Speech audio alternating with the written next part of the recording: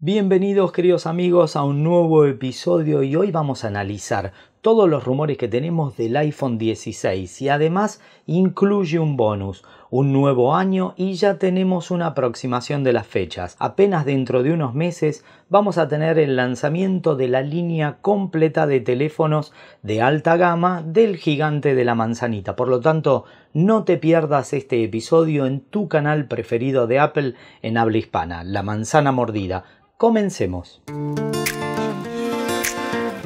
Este año nuevamente, al igual que el año pasado, se mantendrían cuatro modelos en el lanzamiento, el iPhone 16, el iPhone 16 Plus, el 16 Pro y Pro Max. En este caso, la línea que tiene cambios visuales inmediatos sería el 16 y 16 Plus, comenzando con el primero y más atractivo que es el cambio una vez más al formato de línea bueno, van a ser verticales u horizontales en el caso que saques las fotografías en landscape o portrait, pero ten en cuenta que la idea es que esta distribución de cámaras te permita hacer videos tridimensionales, es decir, videos espaciales con el nuevo formato que se incorporó el año pasado, compatibles con las Apple Vision Pro y el resto de gafas de realidad virtual y de realidad aumentada. Por lo tanto, la primer mejora es esa. El segundo rumor es que por primera vez el Camera Bump, es decir, el pack de cámaras, va a estar distribuido aparentemente en dos partes, sacando el flash de esa elevación del pack de cámaras e incorporando el micrófono que ahora te voy a contar, tenemos un rumor increíble con respecto a eso. Por un lado esto se avala con las filtraciones de la funda, por el otro la funda va a ser un poco extraña porque aparte del recorte de las cámaras va a tener el recorte del flash y esto no está tan bueno porque se va a meter tierrita y pelusas en distintos lugares. Por el otro lado ya lo tendríamos bastante confirmado que este nuevo diseño por las filtraciones que se vieron en las fundas y los CAD, en este caso en las imágenes que estás viendo podemos ver la estructura impresa en 3D de cómo sería este teléfono. Toda la línea, las cuatro unidades, van a tener un nuevo botón y una redistribución con un pequeño cambio en el tamaño del botón de acción. Por lo tanto, vemos algunas variaciones en la estructura.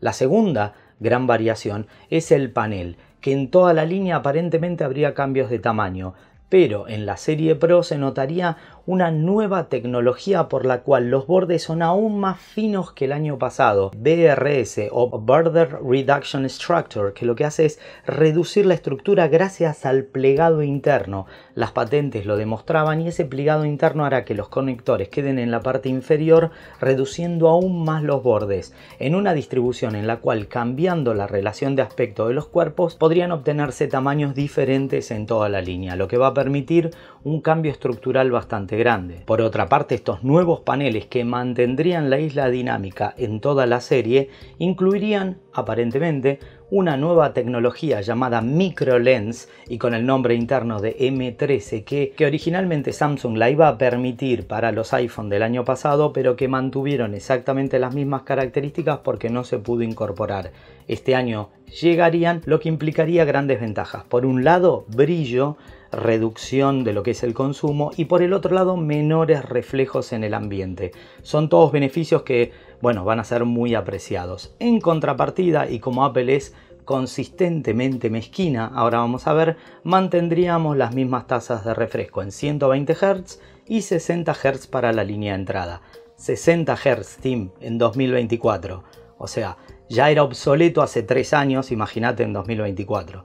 Pero bueno, estas son las desilusiones que su administración nos tiene acostumbrados. Otro rumor muy fuerte es que este año se utilizará una doble estructura con unos sistemas de nervaduras para reforzar el titanio. Este titanio tendría algunos cambios, no solamente a nivel conceptuales en lo que es el desarrollo de su proceso, sino que además cambiaría los colores, eliminando colores que teníamos el año pasado, incorporando nuevos colores como Space Black, que va a ser un oscuro más profundo y por primera vez se incorporaría una especie de rosa pulido dentro de la línea, manteniendo otros colores y haciendo algo que finalmente, si vos miras las animaciones del año pasado, no eran para nada parecidas al producto cuando lo recibimos. Ese tipo de cepillado, ese polish que se hacía en los demos y en los videos estaría incorporado aparentemente en este año a pleno obteniendo estos atractivos efectos que veíamos en la parte de video del año pasado, pero cuando nos compramos el teléfono no lucían así. Por otra parte, tengo la fuerte expectativa que ese Space Black tenga algún sistema de tratamiento repelente a las huellas,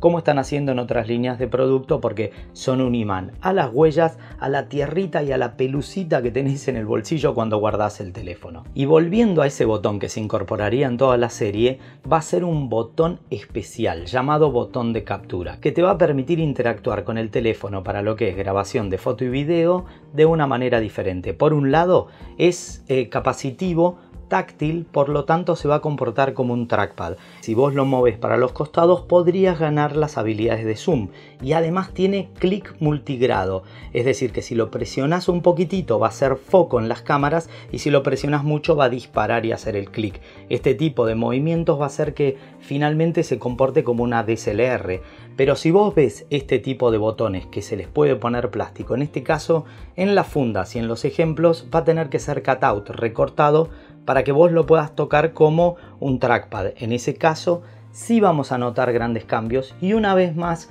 un imán de pelucitas. Pasemos a rumores específicos de estas unidades. Este año se incorporaría el mismo silicon en dos versiones en toda la línea, comenzando con la línea de entrada con el A18 y el A18 Pro para la serie profesional. En cualquiera de los dos casos aparentemente se mantendría la misma cantidad de GPUs y la misma cantidad de potencia aplicada. Sin embargo, la liberación de la potencia estaría enfocada en los grandes modelos de lenguaje, por lo tanto el motor neuronal y el sistema de inteligencia artificial on-device, es decir, dentro del mismo chip dentro de tu mismo iPhone. En unos momentos vamos a analizar toda la potencia que incorporaría el AI tanto en iOS 18 como en estos teléfonos, pero evidentemente la capacidad de procesamiento deben dejarla preparada para futuras actualizaciones y lanzamientos.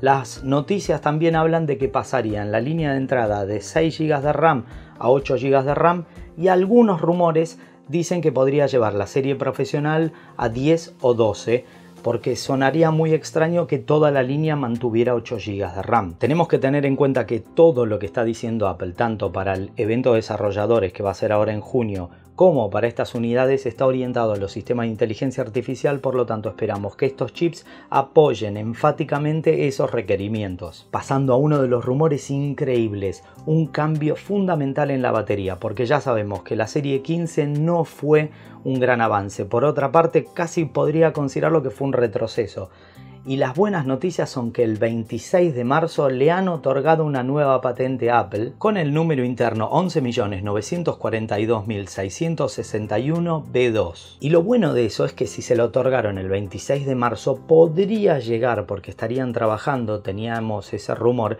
estarían trabajando ya en las etapas previas de producción, por lo tanto podría incorporarse en esta unidad o incluso en el resto del ecosistema. La tecnología les permite hacer stacking de pilas, es algo que hemos visto en varios eh, avances.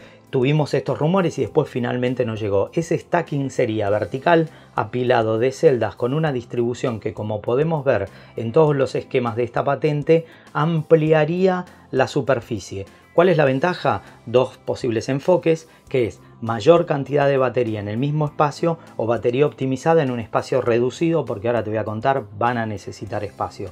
Pero al igual que los lanzamientos que hubo con el Apple Watch, pondrían una superficie metálica para redistribución de calor. Y si hablamos de eso, un cambio profundo en el sistema de refrigeración interna a partir de la utilización del grafeno, una distribución térmica mucho más eficiente con el beneficio también de que tanto los ácidos internos de la batería como la disipación de los procesadores se optimicen en una distribución térmica mucho más equilibrada. Pasemos al área de conectividad. Vamos a hablar primero de la conectividad inalámbrica, nuevas conexiones con chips expandidos de 5G y Wi-Fi 7 para soporte de alta velocidad en materia de conectividad cableada, el rumor diría que todo sube en un escalón, por lo tanto tendremos mayores tasas de transferencia Y finalmente el 15 y 15 Plus se verán beneficiados de una tasa de velocidad de transferencia compatible con USB del tipo C, es decir, por lo menos 3.0 y no un terminal USB del tipo C con tasas de transferencia 2.0. Una de las materias que más interesan y que Apple dedica más tiempo son las cámaras, por lo tanto, algunas condiciones encontradas, no tantos cambios, sin embargo, los cambios que se incorporan son geniales. El primer rumor es que el ultra gran angular pasaría a soportar 48 megapíxeles. Se está hablando de una posibilidad de un modo nuevo que sería super zoom o ultra zoom. Los rumores hablan de una combinación con el G o una mejora en los cristales del Tetra Prisma que actualmente posee el modo de zoom. 5X, también 5X en la versión Pro, no solamente en el Pro Max que tienen esa diferencia de 3X y 5X, generando también una mejora. Por otra parte, y para que lo tengas presente, esto es muy bueno, el sensor del 1X ampliaría su tamaño. Si entra más luz, hay mayor bokeh, mayor calidad y menos dispersión de ruidos. Si además tenemos por primera vez un sensor de 48 megapíxeles en el ultra gran angular, ya tenemos dos cámaras que pueden utilizar y beneficiarse de esta combinación multipixelar que hace que se vean mejor las imágenes y que pueda analizar mayor cantidad de capas. También en materia de un X, que es la cámara principal y la más importante, la gran angular, va a incorporar un sistema híbrido de lentes de 8 partes de ¿Cuál es la ventaja de esta? No solamente el filtrado y magnificación de las imágenes, sino que potencialmente si utiliza esta tecnología que hablaban de inner coating, que es una protección antirreflejo interna, tal vez una vez más minimizarán estos lens flare que en cuestión de iPhone son bastante horribles. Esa combinación de variables va a hacer que el modo de baja luz funcione aún mejor, junto con un sensor que como te decía al principio sería un 12% más grande que el 15 Pro y Pro Max, vas a obtener mejores imágenes y más claras.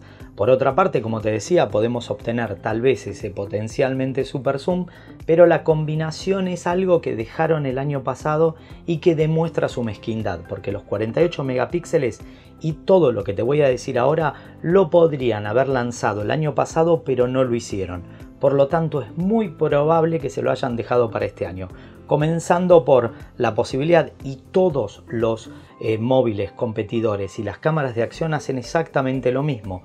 8K en 30 fotogramas por segundo, una posibilidad de modo cine ampliado con recorte de capas, lo que va a permitir una mayor profundidad y un manejo mucho más eficiente, modo acción finalmente llevado a 4K, que es lo que esperamos, y finalmente algo que toda la industria está esperando y todos ya lo tienen y con mejor calidad que Apple, que es cámara lenta en 4K con formatos superiores a 120 e incluso 240 fotogramas. Todo esto ya lo podía hacer el teléfono del año pasado y ahí veremos una vez más si esa mezquindad de guardárselo para este año lo incorporan a los teléfonos del año pasado que tienen un chip que sí lo soportaba y la resolución también lo permitía. Por otra parte se espera, porque además están obligados por ley, gracias al Digital Markets Act, no solamente en la Unión Europea, sino las nuevas legislaciones en Estados Unidos, a incorporar el modo ampliado de 2X y el modo cine dentro de su paquete de APIs para que otras cámaras lo puedan utilizar, al igual que una versión mejorada del modo espacial para que finalmente pueda grabar con mayor calidad o soportar otros formatos.